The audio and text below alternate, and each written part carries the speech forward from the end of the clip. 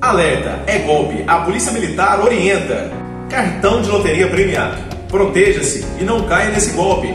Imagine a seguinte situação: uma pessoa chega e te diz: troque o seu dinheiro pelo meu bilhete premiado. Não cresça o olho. Ninguém entrega um bilhete premiado de loteria. Proteja-se e não caia nesse golpe.